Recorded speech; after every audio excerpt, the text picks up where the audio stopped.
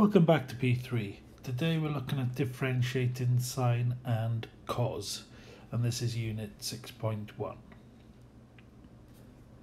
Now differentiating these two from first principles is quite interesting however it's not required by the syllabus for the exams so I'm not going to go through it.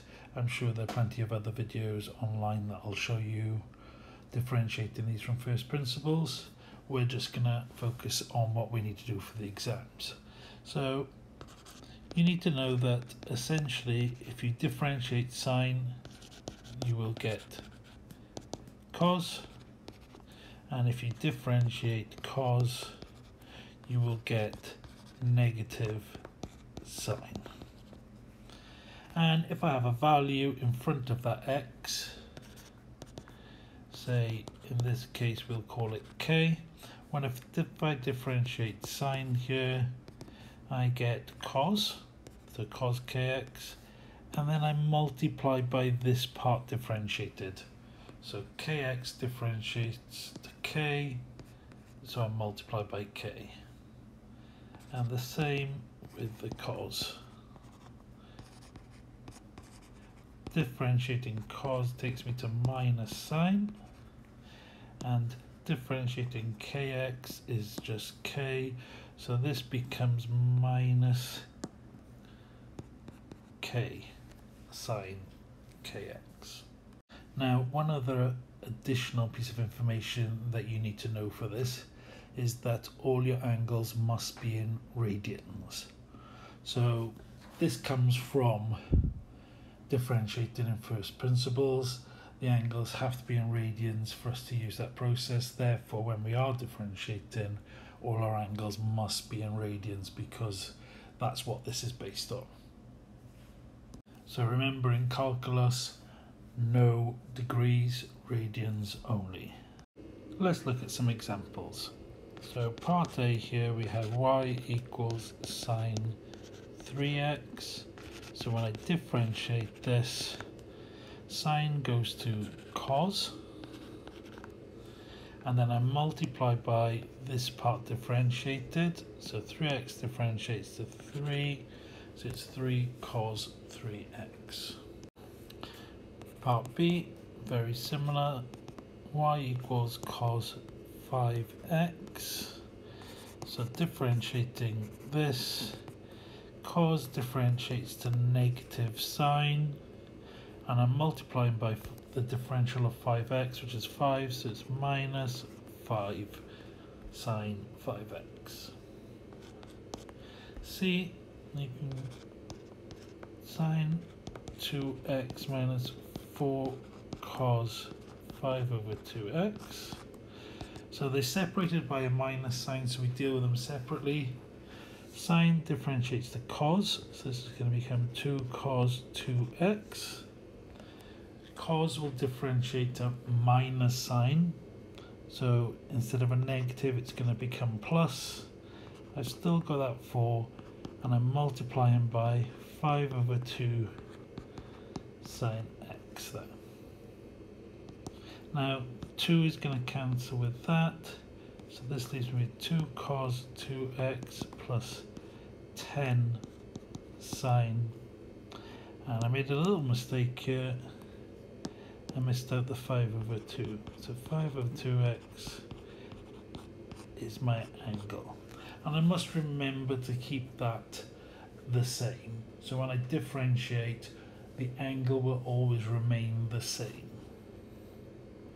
Part D. So for this one, I've currently got a large single fraction and I want to split this up so we get 3 over x plus 2x sine 7x over x. Now this x will cancel with this one, so I get 3x to the minus 1 plus 2 sine 7x.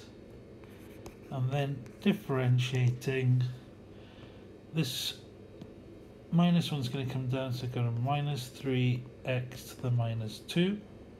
Sine differentiates the cos, so it's going to be positive. and I need to multiply by that 7, so I get 14 cos 7x, remembering that the angle stays the same. And finally, I can write this as minus 3 over x squared plus 14 cos 7x, or a better way would be to put the 14 cos 7x first, minus 3 over x squared. But any of these ways, starting from this initial line here, would be correct. Okay, so a curve has equation y equals 3x squared plus sine 4x. Find the tangent. So first we need to differentiate so that we can find the gradient. So this is going to be 6x plus, and sine differentiates to cos multiplied by 4. Now x equals pi, so substituting that in, I get 6 pi plus 4 cos 4 pi, which if you know your angles, you will know that the cos 4 pi is just going to be 1, so it leaves me with 6 pi plus 4. So I got my gradient, I got my x value, and before I can jump in and use y minus y1 equals mx minus x1, I need my y coordinate. So my y coordinate I'm going to get from my original equation. So I need to substitute pi into my original equation. Now sine of 4 pi is going to be 0 so my y value is 3 pi squared. And I'll leave this in terms of pi just for easy calculations. So now we have y minus 3 pi squared equals 6 pi plus 4 times x minus pi so y minus 3 pi squared equals 6 pi plus 4x minus 6 pi squared minus 4 pi. And then taking by 3 pi, or adding 3 pi squared to each side, I get this minus 3 pi squared minus 4 pi. Now, as this one stands, it isn't very pretty, but this type of question will often have you show that the equation of the tangent is a specific equation, so it'll give you the form it wants the answer in. Alternatively, it could ask it for these values to three significant figures, or three decimal places. So if you got one of these types of questions, it would most likely give you a little bit more of a hint in what form to leave the final answer. Uh, but this one I'm just going to leave as it is.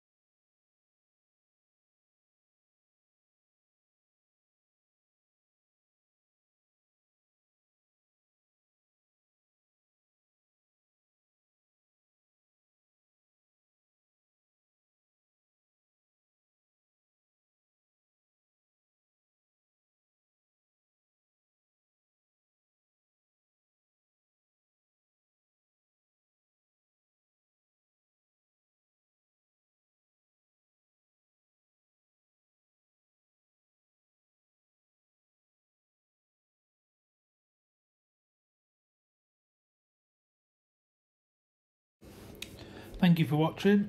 If you found this video useful, hit that subscribe button and also if you want to hit the bell icon so that you get notified the next time a new video is released.